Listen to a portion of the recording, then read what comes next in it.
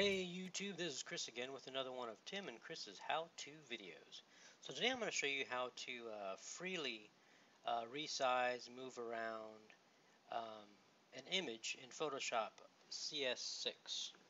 Now here I have uh, two images that uh, Tim, my partner here in Simple How To's, took while uh, on vacation. And I'm going to show you how to resize these um, freely uh, without having to go to you know image and, and typing in the numbers. So uh, before in Photoshop, uh, I know in Photoshop Elements, you can actually click on the image and it will automatically select the layer. This is the deer layer, this is the, uh, the watermill. But if I click on this image, it doesn't, you know, uh, click on the layer or show the highlight the layer rather. So um, that's something different, uh, but we can still uh, resize and move around the images where you can get the corners and it'll uh, it'll uh, make it smaller or larger. Uh, two ways to do that. The first way is um, I guess the a little more the way it's a little more difficult, and that's to go to File and I'm sorry, Edit. Make sure you're on the layer that you want. So this is the deer. And go to Edit and Free Transform.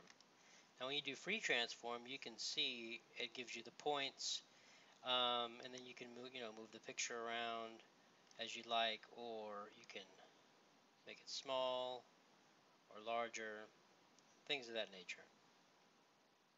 That's one way to do it. Um, the other way to do it is to hit Control C. Uh, I believe it's Command C. Uh, I'm sorry, Control T, and I believe it's Command T on a Mac. But select the layer that you want, and then um, Control T, and that'll give you these uh, little points and you can uh, resize. Uh, if you don't like this angle you can even flip the deer around by just doing that and you can flip the deer um, or you know whatever you'd like to do. Um, same thing with this image.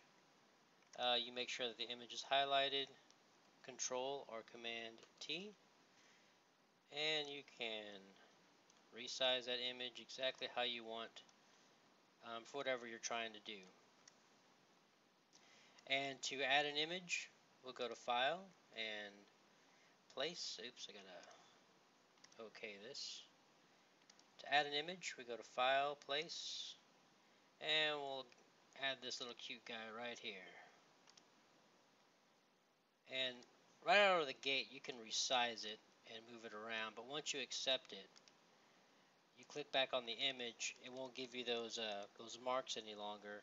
So you have to go Control or Command T, and you can resize it, move it around, do what you want to do with it. Well, I hope this helped you. Um, if you want, uh, if you have any questions or you have anything that you want answered, uh, any type of uh, computer issues, computer problems, let us know. Um, you can uh, email us at simplehowtos at gmail.com or you can leave us a, a little note or a comment here um, in YouTube and we'll definitely help you. And if uh, you know you leave a comment, you want some help or whatever, we'll answer you. Um, we're very attentive to that, Tim and I.